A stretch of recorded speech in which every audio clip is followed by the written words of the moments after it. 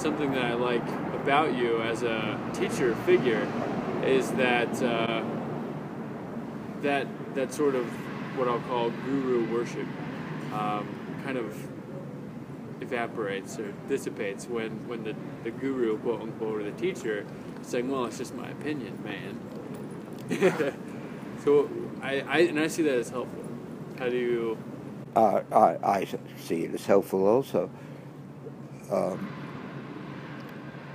uh, for example, if, if uh, I talked, uh, I mentioned yesterday that I, I don't use the term Four Noble Truths that are attributed to Shakyamuni Buddha. I say Four Noble Opinions.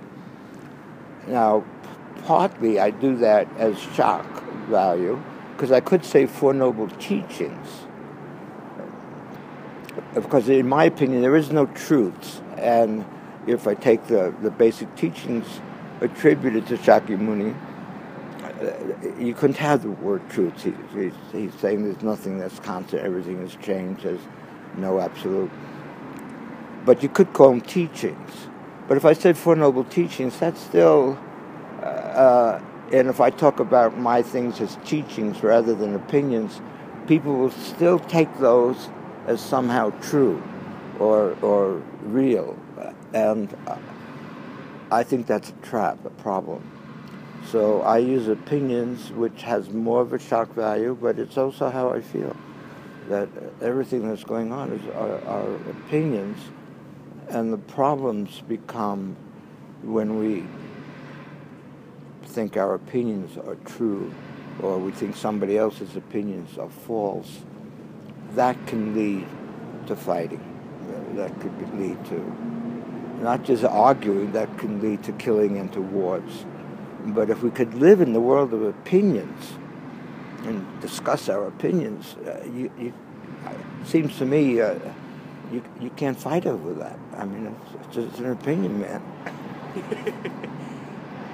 Once we step out of think of, of it being my opinion, it's like we've got a fixed lens, which is now just looking at things through that perspective. Mm-hmm. But if it's just all opinions, it's such an open broad. I mean, and then life becomes so wonderful. It's both serious and humorous at the same time. Is it okay to be happy when there's so much suffering happening? I, I think it's re- required to be full of joy in the midst of suffering. Uh, there was a Zen teacher that said, every day when you wake up, first thing you should do is look in the mirror and laugh. and uh, of course, I carry a red nose with me. And if things get too serious, I put my nose on. So, in the midst of seriousness, yeah, I want to deal with things in a serious way, but also in a humorous way. Uh,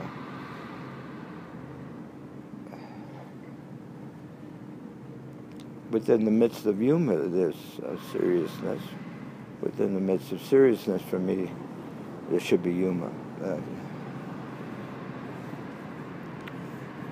do you feel do you feel like humor helps to open one's heart in those serious sure, situations? Definitely, definitely. Uh, and so in in the most in the most unexpected places, if you could bring humor in, you'd change the whole scene. I have a friend who's uh, Wavy Gravy who's uh, has done a lot of stuff in that in that light. Done a lot of all kinds of things, but huge social activist. Uh, he, he, was a promoter of uh, the Grateful Dead and uh, a clown. So I went to him and uh, to help me learn the trade and one of the, as we were talking, one of the things he said that is that he had a manuscript of humor written by inmates in Auschwitz. Well, that's probably the last place you would expect to find humor. And uh, we do a retreat every year. This would be the 19th year at Auschwitz. And about uh, maybe 10 years ago, we actually, I, I started within the Zen Peacemaker order something I call the Order of Disorder, and it's OD for short, so it's the Odd Peacemakers, and we founded that in Auschwitz. And uh, so I'm always trying to combine the two, and I always have my nose with me. And if the situation gets too serious, I pop the nose on, and it's hard for anybody to remain too serious. Uh, sure. in my opinion, Buddhist practices have to be ways of helping us experience the interconnectedness of life, the oneness of life. If you experience the oneness of life, that's just being. Uh, uh, uh what else could it be? It, it's just uh, what is. And through the ages, there's been so many different techniques, I think, to help us experience that. And the trap becomes, in my opinion, when we start putting those techniques or upayas, methods, on the altar. And we start worshiping those instead of, or trying to, to perfect those and lose sight of the fact that it's about experiencing the interconnectedness of life. And these are things developed to help us do that. Now we forget that and, and just start concentrating on uh, meditation more important than visualization is, is, is the Tibetan way better than that's all nonsense. It's just different ways that we're all quite different. So we, all are attracted to different kinds of ways. But I, uh, as Martin Luther King said, uh, I think it's important to keep an eye on the prize, and the prize is the experience of the oneness of life. Mm-hmm. So, would you say that that is our our basic nature, our, our, our true nature, be that of the, the oneness, and that perhaps the. Well, I, I don't I don't use the word true. So uh, I think it's what it is. Yeah. Uh, and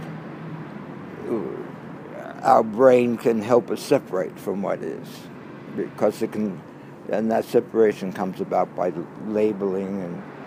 Uh, which we think is handy, and it is handy but we then forget its labels, just like we forget that these are techniques to help us experience the oneness of life.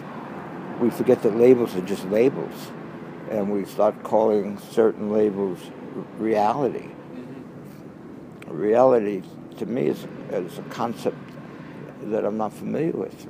So, so I don't go there. Uh, but what is is what is. Why do you think we hang on to our seriousness. Well, we're so conditioned, you know. I mean, and uh, uh, and the big tool for our conditioning, I think, is fear. We we all use that. I, the governments use it, of course, to uh, condition us in certain ways and as a control mechanism. Parents do that with their kids.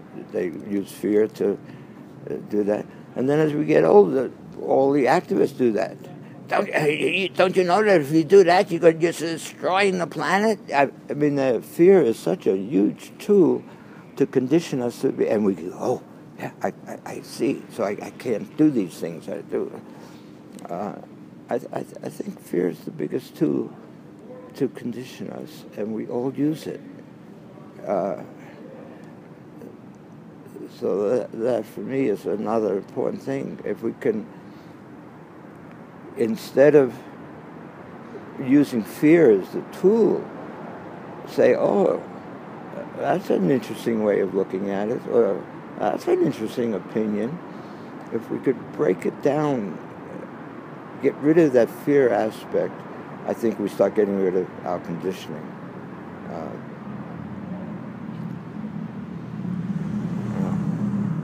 Anything new that's up for you these days?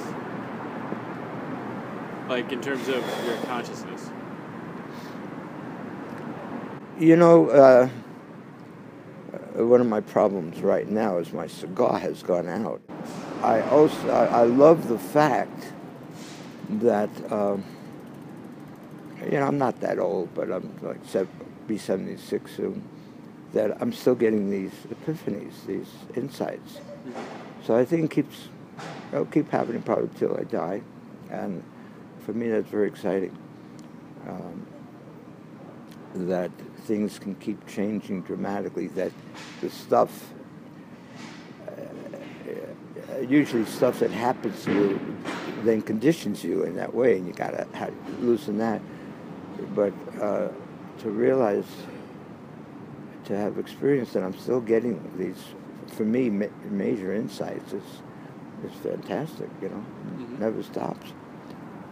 So I don't worry about what's going to come next, mm-hmm. but I know things will come next, and I try to run my life based on our three tenets of not knowing, not planning, not and uh, bearing witness to things that come up, and things always come up, and see what arises. And it's, uh, in a way, exciting to see that new things arise. We have a koan in which uh, uh, Shakyamuni is walking with somebody and he says, build me a temple. And the guy he's walking with, a monk, takes a blade of grass and puts it in the ground. So that's the synagogue, that's the temple, mm. that's the mosque. Uh,